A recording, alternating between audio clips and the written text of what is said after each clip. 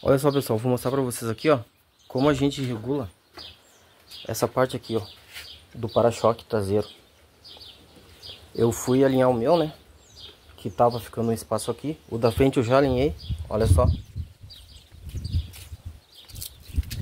Eu desmontei todo ele, deixei ele retinho e inverti uma proteção que tem aqui na frente. Beleza.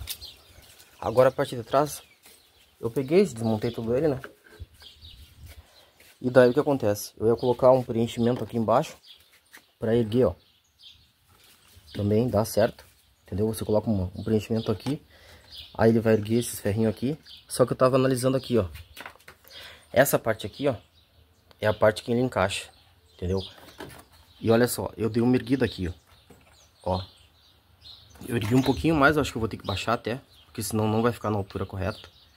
Só que olha como é que tava, tava igual do outro lado. E tava meio caído, ó. É, aqui, ó. Olha aqui, ó. Tá pra, pra baixo isso. Aí eu vou ter que baixar, aflochar e erguer, ó, pra cima.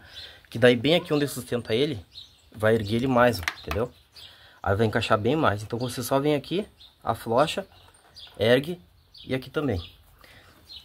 E daí também, né, pra erguer mais essa parte aqui, ó, ó, que ela cansa, né, ó.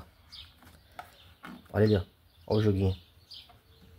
Dá pra você botar um preenchimento aqui, uma madeirinha aqui embaixo. E aí vai pressionar pra cima. E ele vai ficar reto, reto. É bem tranquilo de tirar, não tem estresse. E aí você já aproveita pra fazer uma limpeza. Como eu havia falado, ó. Afrouxei aqui, ó. Olha só ele erguendo, ó. Pra cima, pra baixo. Pra cima e pra baixo, ó. Aí isso aqui vai subir. E quando você prender, ele vai ficar mais firme.